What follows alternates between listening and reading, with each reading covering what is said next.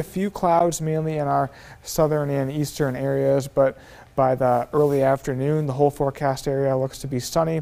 Then overnight, expect a clear sky. Forecast stays dry overnight. Temperatures today getting way up there in the lower to mid 90s. So we're going to be a few degrees above average. That trend does stay up there in the 90s through this upcoming Sunday. May see some upper 90 degree heat on, on Sunday. Then big changes are coming. Strong cold front does come through Sunday night into Monday morning. That will give us some very strong winds out of the north. Wind advisory may be issued Monday. The temperatures will be moderating in a big way, seeing some 70s for Monday and Tuesday. The winds today do stay light out of the south, and then overnight expect a south southeast wind around 10 miles per hour. So the winds get a little bit higher each day. It's going to be uh, light winds today, but then by Saturday and Sunday, a little bit breezy. And then by Monday, very strong gusty winds. Expect a possible wind gust up to 40 miles per hour this upcoming Monday.